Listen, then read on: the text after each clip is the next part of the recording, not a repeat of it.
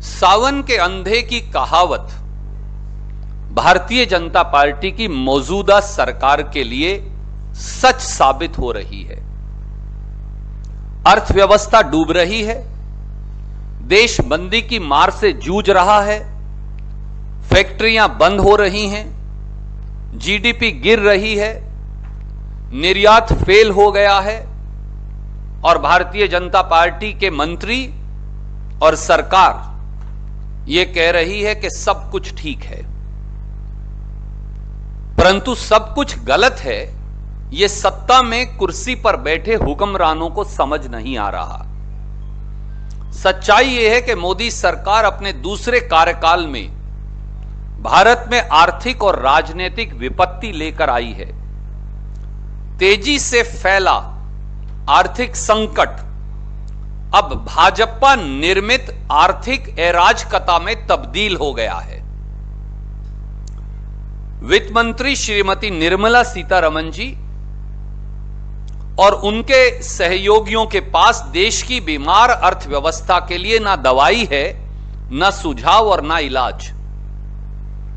आर्थिक हर रोज होते आर्थिक कुप्रबंधन, भयंकर भूल और रोज होती गलतियों ने देश की आर्थिक स्थिरता, रोज़गार, रोटी, धंधा, उन सब के सब पर संकट के बादल छा गए हैं। अपने दूसरे कार्यकाल को अगर मोदी सरकार को आप तीन शब्दों में कहें तो वो है एक कदम आगे और चार कदम पीछे। प्रधानमंत्री और वित्त मंत्री, देश की अर्थव्यवस्था और मुझे यह खेत से कहना पड़ता है, नौ सिखियों की तरह चला रहे हैं। इसके परिणाम स्वरूप निर्यात व जीडीपी औंधे मुँह गिरे हैं, उद्योग व व्यवसाय बंद हो गए हैं, और लाखों नौकरियाँ और धंधे खत्म हो गए हैं। भाजपा सरकार द्वारा किया गया लेटेस्ट निर्णय, जिसमें एक लाख पैंतालीस हज़ार करोड़ की छूट कॉरपोरेट जगत को दी गई है। वो एक ऐसा निर्णय है जो केवल डगमगाते सेंसेक्स इंडेक्स को बचाने के लिए लिया गया है। यह ना किसी मज़बूत आर्थि, आर्थिक विजन पर आधारित है और ना ही किसी दूरदृष्टि वाली वित्तीय नीति पर। एक तरफ़ प्रयोगों के उतावले प्रधानमंत्री हैं और दूसरी तरफ़ नौसिखिया निर्णय लेने वाली वित्त मंत्री जी हैं। उनको पाँच सवालों का जवाब इस देश को देना चाहिए और बहुत संक्षिप्त में कहूँगा। कॉरपोरेट टैक्स की दरों को 30 प्रतिशत से कम कर 22 प्रतिशत 25 प्रतिशत से कम कर 15 प्रतिशत से एक लाख पैंतालीस हज़ार करोड़ सालाना का नुकसान होगा। प्रधानमंत्री जी और वित्त मंत्री जी देश को बताएँ कि ये पैसे की भरपाई एक लाख पैंतालीस हज़ार करोड़ के के वित्तीय घाटे की भरपाई कहाँ से होगी? क्या इसके लिए एक बार फिर तनख्वाह लेने वाले व्यक्तियों, मध्यम वर्ग के लोगों गरीब किसान, छोटे दुकानदार छोटे छोटे व्यवसायियों पर पेट्रोल, डीजल, बिजली और दूसरी वस्तुएँ की, रोज़मर्रा की वस्तुओं के भाव बढ़ाकर और टैक्स लगाकर किया जाएगा। या फिर देश की मुनाफे वाली पीएसयू का खून निचोड़कर किया जाएगा एलआईसी जैसी। जैसा कि इस साल के बजट के घाटे की क्षति को पूरा करने के लिए आरबीआई का एक लाख छिहत्तर हज़ार करोड़ रुपया निकालकर किया गया। दूसरा प्रश्न, क्या प्रधानमंत्री और वित्त मंत्री बताएँगे कि एक लाख पैंतालीस हज़ार करोड़ जो कॉरपोरेट टैक्स के अंदर आपने छूट दी है, उसके चलते फ़िज़िकल डेफिसिट जो बहुत बढ़ जाएगा, उसके लिए आपके पास क्या उपाय है? या फिर आप जैसे बजट में आपने आंकड़ों की का फर्जीवाड़ा कर, आपने वित्तीय घाटे को छुपा लिया, फ़िज़िकल डेफिसिट को छुपा लिया, आप फिर एक बार वही करने वाले हैं। अब जब फ़िज़िकल डेफिसिट, वित्तीय घाटा सात प्रतिशत तक पहुँच जाएगा, जिसका सीधा असर देश की प्रगति, देश की तरक्की और महँगाई की पर पड़ेगा, उसके लिए आपके पास क्या उपाय हैं? तीसरा प्रधानमंत्री और वित्त मंत्री, देश की संसद, जिसकी जिम्मेवारी है बजट को पारित करना और बजट के भिन्न भिन्न मदों को देखना, उसको दरकिनार कर अपमानित क्यों कर रहे हैं? क्योंकि यह पहली सरकार है सत्तर वर्षों में, जिसने बजट पेश करने के 45 दिन के अंदर खुद के पेश किए बजट को ही खारिज कर दिया या संशोधन कर दिया या उसे वापस ले लिया। क्या देश की संसद और संसदीय प्रणाली का कि इस प्रकार की व्यापक अवहेलना उचित है? चौथा सवाल। अगर आपने इनकम टैक्स में राहत ही देनी थी तो फिर इस देश के साधारण जनमानस, नौकरी पेशा लोगों को, इस देश के मध्यम वर्ग को, इनकम टैक्स की राहत टैक्स की राहत क्यों नहीं दी गई?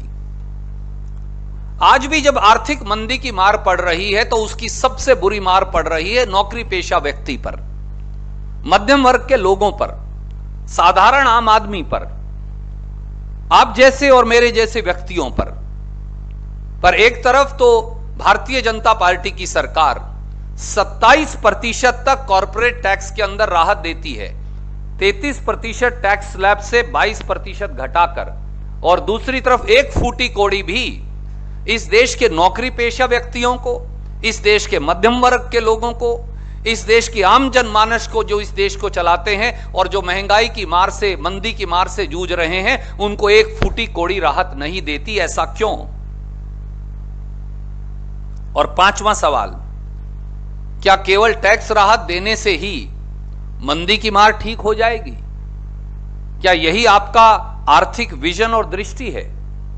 और अगर टैक्स राहत देने से मंदी की मार दूर हो जाती है तो फिर जो व्यक्तिगत इनकम टैक्स देने वाले लोग हैं, वो 30 प्रतिशत पर टैक्स देंगे और हज़ारों करोड़ का मुनाफा कमाने वाली कंपनियाँ, वो 22 और 15 प्रतिशत पर टैक्स देंगी। ये इस देश में कौन सी उचित और न्याय न्याय संगत बात है? इसलिए प्रधानमंत्री जी और वित्त मंत्री जी को यह जानना चाहिए कि देश की अर्थव्यवस्था चलती है काबिल नेतृत्व से। देश की अर्थव्यवस्था चलती है मेच्योर थिंकिंग से, यानी एक परिपक्व सोच से।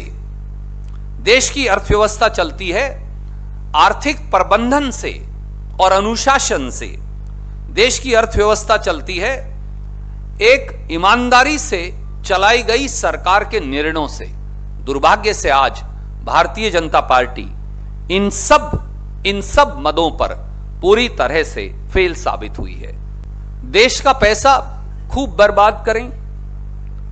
मोदी जी, आदरणीय प्रधानमंत्री जी का हम आदर करते हैं, पर वो और उनकी सरकारें करती क्या हैं? कभी ये पूरी सरकार जो उनकी है, प्रांतीय सरकारें और राष्ट्रीय सरकार, वो केवल इवेंट मैनेजमेंट करती है इकोनॉमिक मैनेजमेंट नहीं करती। Event management and economic mismanagement ये इस सरकार का रास्ता है। इस रास्ते से देश में मंदी के काले बादल छाए हैं। इस रास्ते से भारतीय जनता पार्टी की पहचान अब दो शब्दों से होने लगी है, मंदी और तालाबंदी। यह भाजपा का मूल सूत्र है और सार है। इवेंट करिए, जैसा एडवाणी जी ने कहा था कि वो बहुत अच्छे इवेंट मैनेजर हैं। पर यह देश इवेंट्स मैनेजमेंट से नहीं, इकोनॉमिक मैनेजमेंट से चलेगा। यह बात जिस दिन प्रधानमंत्री जी और वित्त मंत्री जी समझ जाएँगे, उस दिन मंदी और तालाबंदी की मार झेल रहे लोग अपनी मुश्किलों से उबर जाएँगे। और और सवाल बड़ा सीधा है कॉरपोरेट जगत के लिए टैक्स 22 परसेंट और 15 परसेंट और नौकरी पेशा लोगों के लिए, मध्यम वर्ग के लोगों के लिए, आम जनमानस के लिए टैक्स 30 परसेंट यह कौन सा न्याय है? सबसे ज़्यादा पैसा मार्केट में आएगा अगर आप नौकरी पेशा लोगों की जेब में मध्यम वर्गीय लोगों की जेब में, हमारे पत्रकार साथी जैसे पेशे करने वाले आम साधारण व्यक्ति की जेब में पैसा डालेंगे। खरीद कौन करता है? खरीद करता है कंज्यूमर यानी उपभोक्ता। आप उपभोक्ता की जेब पर टैक्स लगा रहे हैं। उपभोक्ता की जेब में पैसा नहीं डाल रहे। काश प्रधानमंत्री जी और वित्त मंत्री जी देश में मध्यम वर्गीय लोगों, नौकरी पेशा लोगों, साधारण जनमानस की जेब में पैसा डालते तो बहुत खरीद बढ़ जाती। खरीद की क्षमता होगी तो ही तो प्रोडक्ट्स खरीदे जाएँगे। जब खरीद करने वाले को आप टैक्स के बोझ से जड़ देंगे तो वो खरीदेगा क्या? जब आपको विषय का ज्ञान ना हो तो कई बार पेपर में बैठना पड़ता है क्योंकि आप हर बार फेल हो जाते हैं। यही स्थिति माननीय वित्त मंत्री की भी है। अगर पढ़ाई अच्छी की होती, विषय की, यानी लोगों की समस्या और पीड़ा को समझा होता, आत्मसात किया होता, और आपकी जेब में, यानी मध्यम वर्ग और नौकरी पेशा लोगों की जेब में ज़्यादा पैसा डाल दिया होता, उनको टैक्स से राहत दी होती पूरी अर्थव्यवस्था ठीक हो जाती। धन्यवाद।